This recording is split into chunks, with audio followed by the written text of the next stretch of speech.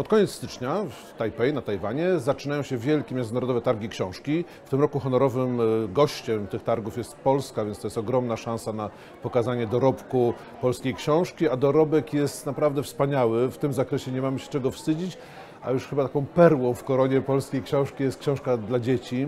E, kilkadziesiąt lat temu polscy ilustratorzy byli mistrzami niezrównanymi, jednymi z największych, jacy w ogóle na świecie wtedy działali. E, I ich twórczość pokazujemy, takich mistrzów jak Kiliana, e, czy to Wpika, to, to, to, to są naprawdę mistrzowie.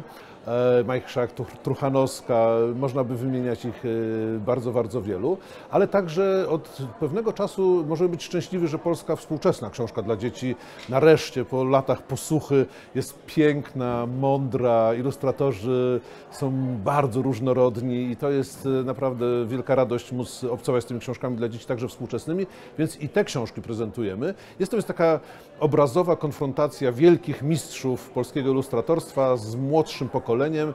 Mamy nadzieję, że e, azjatycka publiczność doceni to i zapragnie te książki mieć, znać i e, z nimi obcować jak tylko się długo da.